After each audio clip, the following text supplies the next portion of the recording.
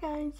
Um, so I wanted to do a video because I I got like a lot of messages and a lot of comments um, regarding the post I made that Corey and I's um, case was received, and I just kind of wanted to make a video because there was a lot more comments and messages than I thought I would get, and I thought maybe a video would be more helpful.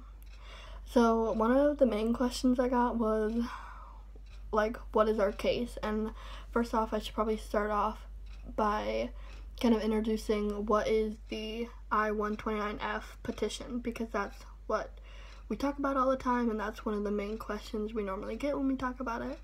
And when we talk about the petition, that is pretty much a packet, and you can look in my earlier video of all of our information and our documents, um, and it gets sent to pretty much the government. It gets sent in Dallas um, to like a lockbox facility, and it's a petition to bring your fiance and their children, if they have any, to the U.S. to start the process to marry you and became and become like a citizen of the U.S. Um, there's also it also helps if like you're already married and you want to bring them over, but that wasn't our case. Um, so again, what does it mean when I said our case was received? So when you send in your packet, each person um, that's their case, um, kind of like in, a, in, an, in an attorney kind of way. So we have our own case number, um, and we can look up like what's happening, where is it, where is it at, you know, all that stuff.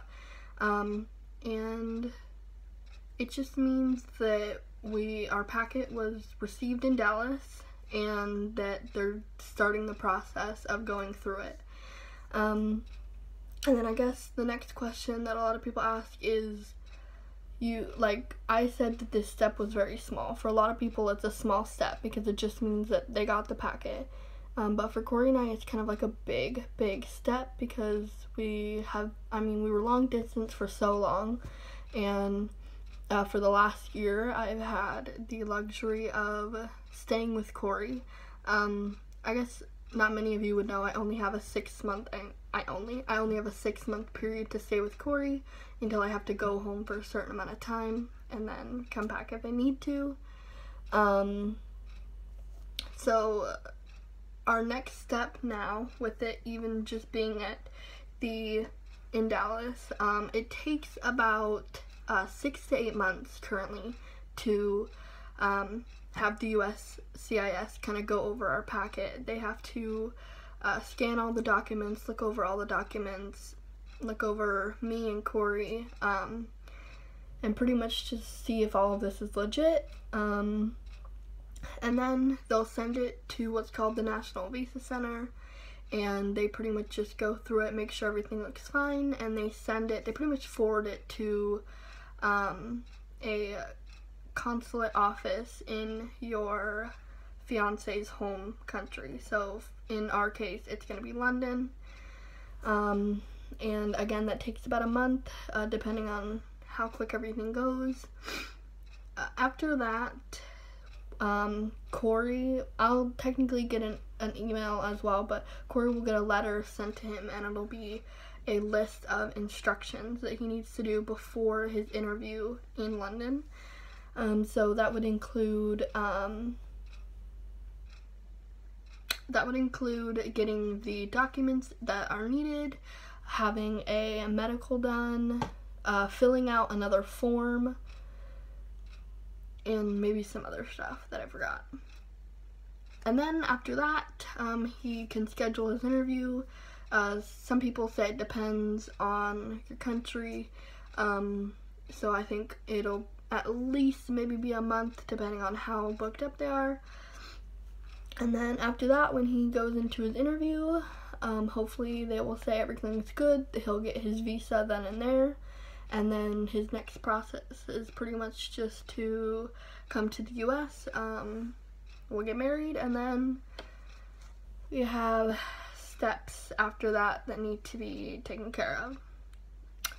So yeah, it's a, it's a it's a long process, but for both of us, it's that was definitely last night getting that message that was just beyond what I could have imagined. My heart was racing. I mean, it's just it's just pretty much a notification saying, "Hey, we got it. We're gonna start the process." But I mean, we've been together for two and a half years, and it's just crazy to think that uh, after working on the petition for a year that it's just in there. It's in the hands of the government which is scary but it's it's just it's nice.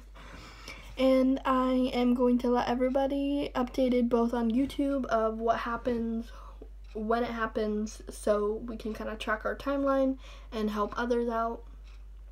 Uh, because I know the big question is when you do this whole process is how long does it take?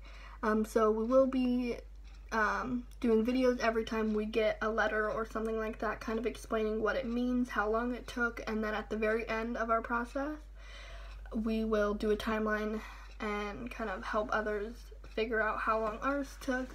Oh, also, another question I guess we get a lot is how much was the petition? Because, I mean, nothing's free. Um, and for me just to uh, send the petition was $535 again it's september 14th 2018 and the fee currently is $535 um, i will say whatever if if this video if you're looking at this video a couple years from now the fee changes quite a bit and often um, so yeah so that's the fee and again that fee is still comes out of your bank account even if it is approved or denied. If it is denied, they will um, pretty much send you your petition back and they will give you some reasons why it was denied.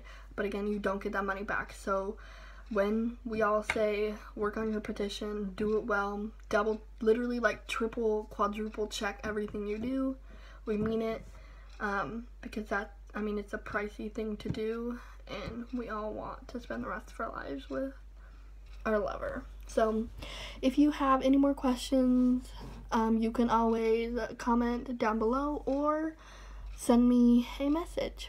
Hope you enjoy.